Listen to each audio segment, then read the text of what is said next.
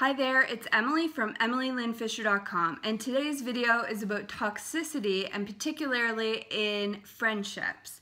There's a quote I love and it goes something like this. They love to see you do good but never better than them. And this couldn't be closer to the truth in a toxic relationship or friendship. So when you're in a toxic friendship, they love to see you do good but they never want to see you do better than them. And what happens when they see you doing better than them is they'll try to start drama, they'll try to pick at you, they'll try to start something, they'll talk bad about you. It's just a toxic environment. And what toxic means is not like toxic chemicals, but pretty much just in the form of people spewing words, just emotions, and just weird shit that you shouldn't have to deal with, especially as an adult. So they love to see you do good, but never better than them. So, how do you point these people out?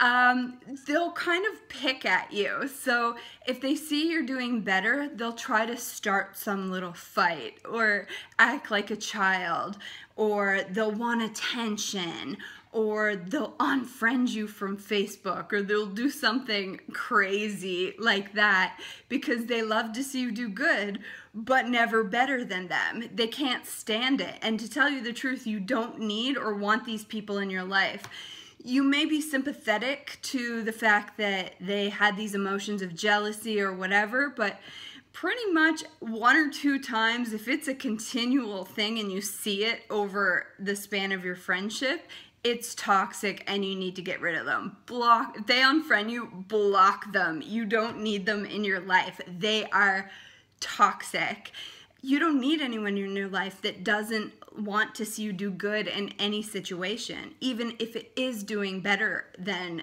you or whatever. You don't need them. And if you're someone like this, I need you to watch this video, recognize it, and then figure out how you can get over that on your own because it's toxic. So that's today's video. My website is emilylynnfisher.com. Take care, and I'll see you soon. Bye, guys.